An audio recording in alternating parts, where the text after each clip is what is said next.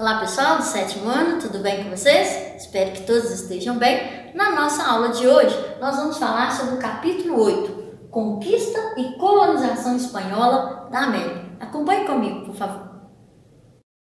Conquista e Colonização Espanhola da América. Começou com a chegada de Cristóvão Colombo às Antilhas em 1492. Colombo procurava um novo caminho para as Índias e convenceu-se de que o encontraria. Ele foi feito governador dos novos territórios e fez várias outras viagens através do Oceano Atlântico. Enriqueceu-se com o trabalho de escravos nativos que o obrigou a minerar ouro e também tentou vender escravos na Espanha.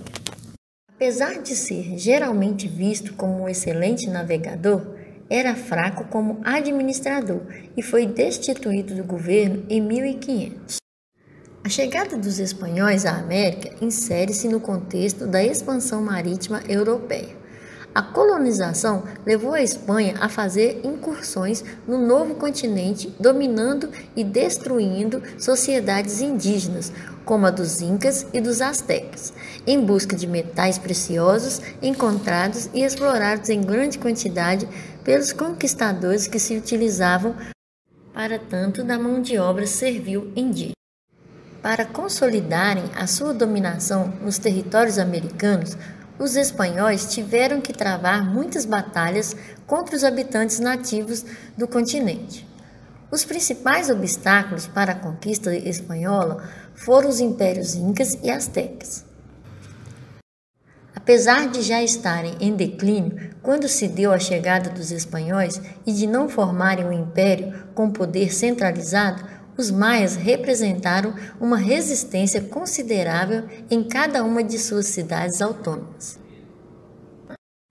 Então, na conquista, os espanhóis consolidavam alianças com diversos povos indígenas.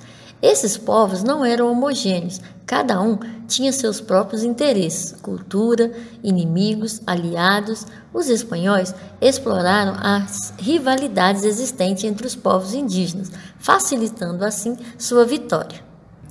O número de aliados nativos tendia, inclusive, a superar o número de espanhóis nas batalhas.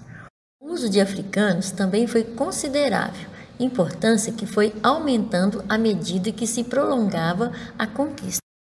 Saiba mais sobre a conquista das terras astecas e incas. Os espanhóis iniciaram a conquista das terras americanas pelas ilhas do Caribe, às quais deram os nomes de São Salvador e Hispaniola.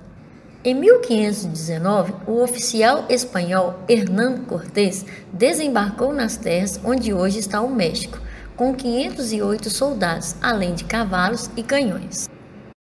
Passado o primeiro momento, os espanhóis descobriram que vários povos do Império Azteca estavam revoltados com a dominação azteca.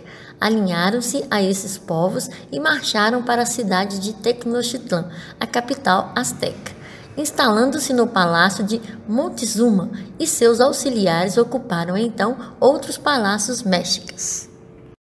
E assim, a busca por riqueza e poder animou outro aventureiro espanhol, Francisco Pizarro, a organizar uma expedição com o objetivo de conquista, sendo seu alvo o Império Inca, na Cordilheira dos Andes. Acompanhado de apenas 180 homens, parte dos quais a cavalo, instalou-se na cidade de Cajamarca e convidou o Inca Atahualpa para um encontro reservado e o mandou prendê-lo, ordenando a seus soldados que atirassem nos incas de surpresa. Os espanhóis conquistaram a cidade de Cusco, aproveitando também a divisão entre os próprios incas, motivada pela disputa entre os irmãos Atahualpa e Huáscar.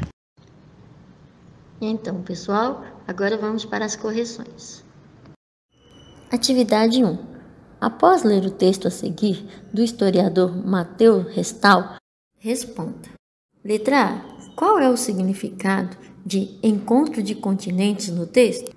Significa o encontro entre povos da Europa e da América. Letra B. Escreva no seu caderno a afirmativa incorreta e justifique. Sobre o texto, é possível afirmar que A alternativa incorreta é a número 4.